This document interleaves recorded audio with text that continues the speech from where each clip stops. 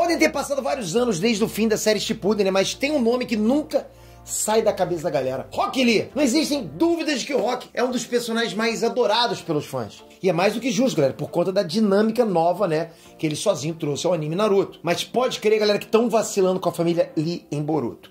E isso não é só de agora. É exatamente sobre isso que eu vim falar nesse vídeo. Sabe quais foram as piores coisas que fizeram com Rock Lee na história de Naruto? E o que fez ele ser tão aclamado? Bora falar sobre tudo isso agora. Vamos lá.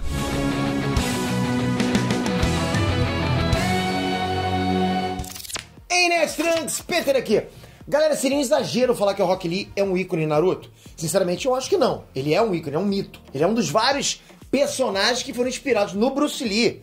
Mas ele se destaca tanto como personagem que chega a ser até frustrante ver que ele não recebeu a devida atenção. Rock ele teve vários momentos bacanas, só que ele foi perdendo cada vez mais espaço ao ponto de sumir por bastante tempo no Shippuden. Mas se a gente lembra do Rock Lee até hoje, significa que o Masashi Kishimoto acertou em muitas coisas no personagem.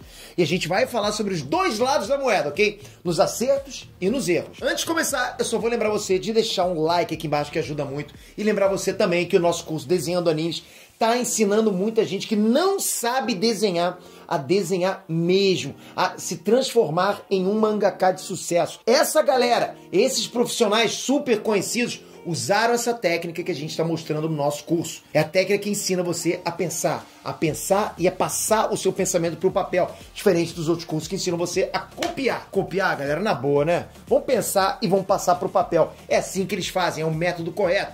Então, para você se transformar, para você começar a desenhar a partir de hoje, clique aqui embaixo no link da descrição ou no primeiro comentário fixado. Tem aula grátis que já vai te ajudar muito. Estragou sem desenvolvimento das técnicas. Uma das coisas que mais chamaram atenção pro Rock Lee foi a persistência dele em enfrentar inimigos usando nada além de socos e chutes. E no mundo, né, com tanta variedade de habilidades, é uma boa inovar. Infelizmente, não houve uma boa inovação no Rock Lee no decorrer do anime, tirando o fato do Lee ter claramente ficado mais apto ao uso dos oito portões internos. Atualmente não se sabe quantos portões o Lee consegue abrir, mas no arco do exame Chunin, o Lee era capaz de abrir cinco dos oito portões. Então assim, no fim do Shippuden, ele foi capaz de superar o sexto portão. Isso é um feito grandioso, beleza, mas que foi completamente ignorado pela abertura do oitavo portão pelo Gai. E galera, assim, tirando os portões e as poucas aparições do punho bêbado, não houve nenhuma evolução no Lee. Sem técnicas novas, sem armas novas, nenhuma invocação ou trunfo além dos portões. Sim, os portões internos são bacanas. Só que eu acho que o Lee merecia mais do que isso, né? Melhorou, forma de vida inabalável. Não existe algo que o Rock Lee não queira encarar de frente. E esse estilo dele é muito maneiro de ver. É dito desde bem cedo no anime que ele é inferior a qualquer aluno na academia por ser incapaz de usar ninjutsu ou genjutsu. Mas é no mundo do taijutsu, né, na luta corpo a corpo, que o Rock Lee é superior, e muito. A determinação do Lee não é o melhor traço de personalidade dele, porque ele trabalha muito duro para superar as fraquezas. E essa é a verdadeira graça em ver o Rock Lee. Ele sempre vai dar duro de si próprio. Não importa o quão difícil ou perigoso é a missão. O melhor exemplo disso é justamente os portões internos que eu acabei de citar, né? Que exigem muito do corpo do usuário para serem abertos e aproveitados antes que a dor se torne insuportável. E o Rock Lee é uma das únicas pessoas do universo Naruto que consegue usar essa técnica. Não existe nenhum personagem que supere o Rock Lee na categoria trabalho duro. Estragou clone do Maito Gai. Olha, é indiscutível que o Gai é um dos melhores personagens de todo Naruto, beleza. E esse personagem é literalmente a maior inspiração do Lee. Gai também tem problemas em usar ninjutsu e genjutsu, né? E também já foi muito humilhado por não ser material ninja. Tem muita coisa boa para falar sobre o Gai, né? Só que existe uma coisa estranha dele, que é o design. O estilo do Gai não é dos melhores, né? Mas isso não tem problema, galera, porque afinal é o jeito do personagem, a gente curte ele bastante. Mas a situação com o Rock Lee fica esquisita. O Lee tinha um design diferente antes de entrar no time Gai né, com cabelo longo, né, roupas comuns, digamos assim. E tudo isso mudou depois de virar pupilo do Guy. O Lee virou um Guy Júnior, coisa que faz sentido, afinal o Lee era um garoto na era clássica. Mas no Shippuden, pô, foi meio vacilo. O Guy foi a única pessoa que confiou no potencial do Lee. Mas seria bacana ver o Lee crescer além de um mini Guy, né? Tendo a própria personalidade e um design diferenciado. Talvez sem o macacão verde, sem as caneleiras laranjas, né? Pelo menos isso já estava legal. Melhorou o punho bêbado. Falando numa diferença do Guy e do Rock Lee, é justamente o punho bêbado, né? Uma das habilidades mais perigosas subestimadas do arsenal do Lee. Tanto o Lee quanto o filho dele, né, o Metal Lee, possuem uma fraqueza altíssima ao álcool. E há outras coisas também que fazem eles perderem a noção do equilíbrio, né? O metal usa a variação do punho bêbado por nervosismo. Essa fraqueza é justamente um dos pontos mais fortes do Rock Lee, onde o próprio Guy diz que o Lee vira um demônio com apenas um gole de álcool. É o Guy que falou isso, não sou eu. E na boa, um dos momentos mais maneiros de todo o Naruto clássico foi ver o Lee lutando contra o Kimimaro. Nossa, que maneiro. Esse estilo de luta ataca sem nenhum padrão. Com soco, chutes, cabeçadas, joelhadas. Esse estilo de luta ataca assim, sem nenhum padrão. Tudo aleatório. Com soco, chute, cabeçadas, joelhadas com as costas, barriga, tudo. É impossível prever o próximo ataque do punho bêbado. infelizmente, essa habilidade não foi usada tanto. Mas não dá para falar do Rock Lee sem lembrar do punho bêbado. Estragou recuperação pós-exame Chunin. Eu aposto que todo mundo que assistiu a luta do Lee no exame Chunin ficou triste com o resultado. Não pela vitória do Gar, né? O Gar é maneiro pacas, beleza. Mas sim pela derrota do Rock Lee pelas consequências da batalha. Pô, que foi de doer o coração. Durante a luta, o Lee foi superando os limites, né? Enquanto as expectativas subiam ainda mais. Só que no fim, o Lee teve o braço e a perna quebrados pela areia do Gara. E os danos eram tão grandes que o Rock Lee nunca mais poderia ser um ninja. Ou será que não? Depois de um tempo, a gente conhece a Tsunade, né? Maior ninja médica de todo mundo.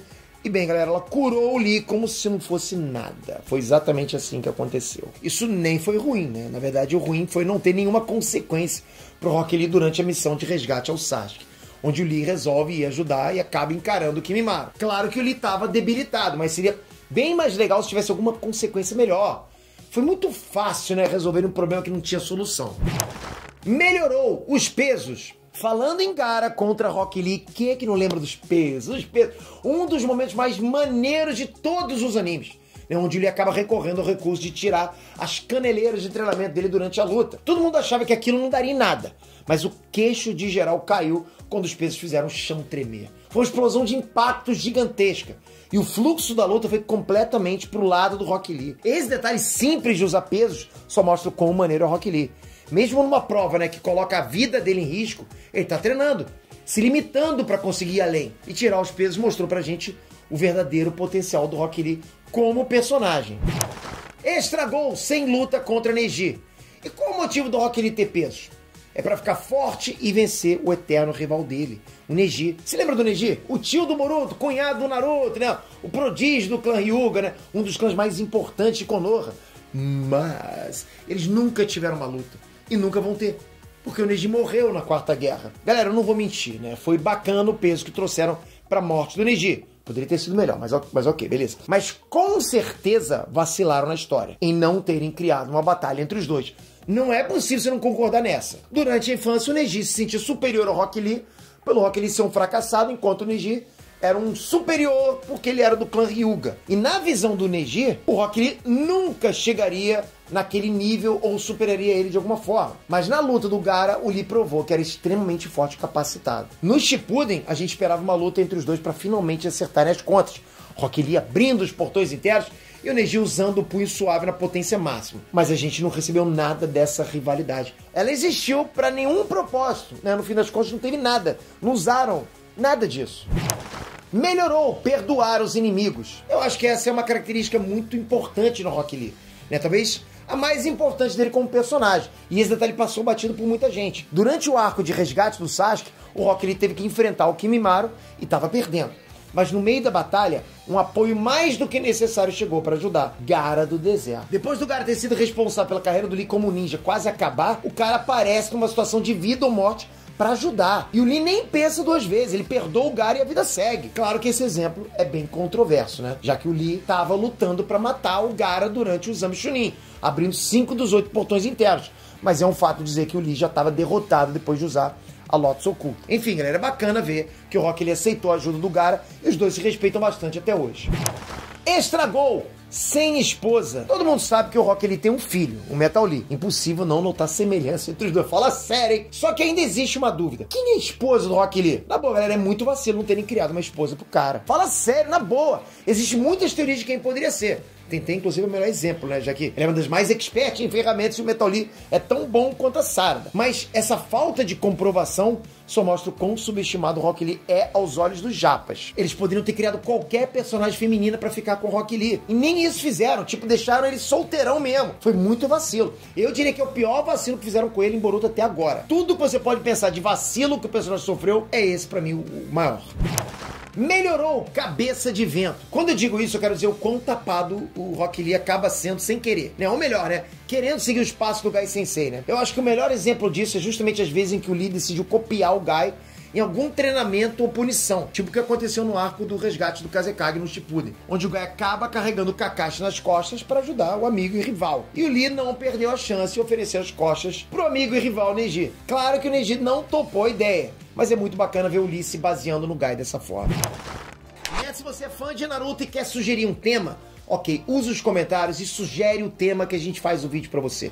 Qualquer lista relacionada a animes ou a Naruto, a gente faz para você. Então, manda nos comentários. Eu te garanto, eu vou estar tá lendo os comentários, né? Então, conto com você e não esquece. Clica no joinha porque o seu feedback é o que faz a gente trazer mais vídeos, mais conteúdo relacionado a animes e principalmente a Naruto. É esse feedback positivo, principalmente que eu vou te pedir agora, que é a sua inscrição. Você inscrito nesse canal é o que mais ajuda a gente a trazer esse material. Ajuda demais, inclusive, você a ficar conectado, a saber o que tudo está rolando no mundo nerd, na cultura pop. Obrigado por isso, hein? Até a próxima, galera. Fui!